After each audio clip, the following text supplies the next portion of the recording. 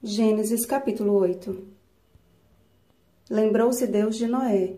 Deus fez soprar um vento sobre a terra e baixaram as águas. Versículo 1 Os concursos e vestibulares estão cheios de casos de pessoas que chegam após o horário limite.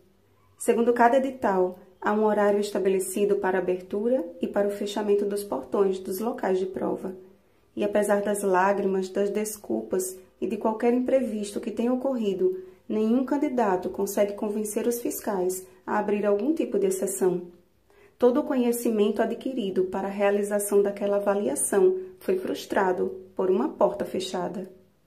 Noé tinha ouvintes bem atentos que todos os dias adquiriam mais conhecimento acerca do amor de Deus e de seu breve juízo. O velho professor não se cansava de lecionar a matéria graça, apontando com veemência para a porta que representava a única chance que tinham de experimentá-la. Deus concedeu àquele povo um método lúdico de ensino, e à beira da grandiosa construção, todos tiveram a oportunidade de estudar numa mesma escola, preparando-se para uma mesma prova. A diferença é que não tinham que competir uns com os outros, bastava entrar pela porta no tempo determinado pelo edital de Deus. A respeito disso, vejamos o que registra Ellen White.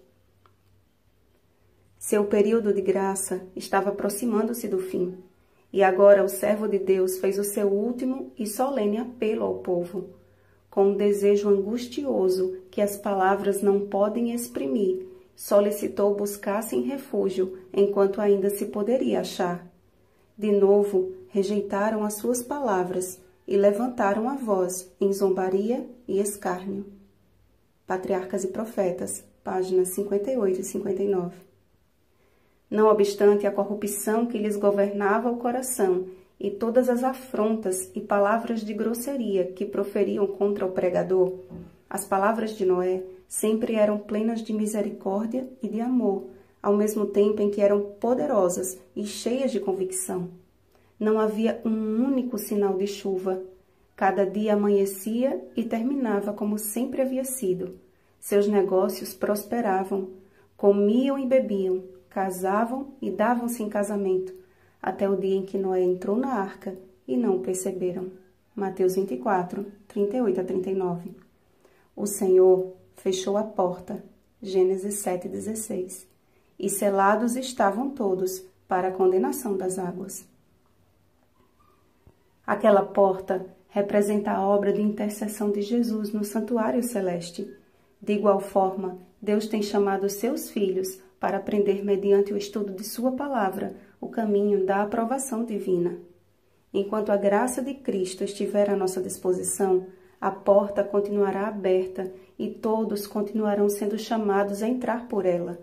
Mas está chegando o tempo em que a porta que só Deus pode fechar ou abrir selará o destino eterno de cada ser humano.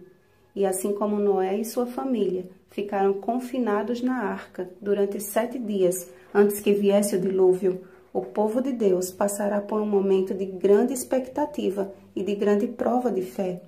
Os ímpios afrontarão os filhos de Deus, dizendo: Onde está a promessa da sua vinda?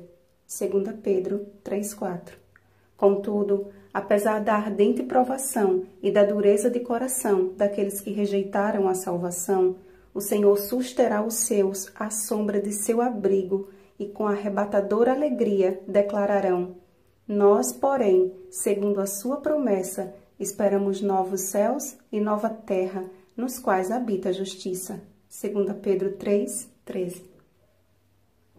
Eram oito pessoas contra o mundo inteiro e ao contrário do que se pensa, não é a maioria que define a vitória, e sim o lado que conhece a verdadeira linha de chegada. Noé e sua família foram insultados e a mensagem de Deus de todo rejeitada. Pensavam: como podemos todos nós estar errados e somente esta família com a verdade? Impossível. E mediante tal pensamento, afogaram-se todos nas águas de suas próprias teorias. Assim como Noé não levou em conta a controvérsia humana, mas perseverou em andar com Deus, a mesma oportunidade nos é dada hoje. Assim como ele confiou no Senhor, observando o passo a passo da cartilha do céu, aguardando com paciência a ordem de sair da arca, precisamos clamar a Deus por este fruto do Espírito. Levantou Noé um altar ao Senhor. Seja a minha e a sua vida um sacrifício de amor ao Deus que nos salvou. Bom dia, verdadeiros adoradores. Rosana Garcia Barros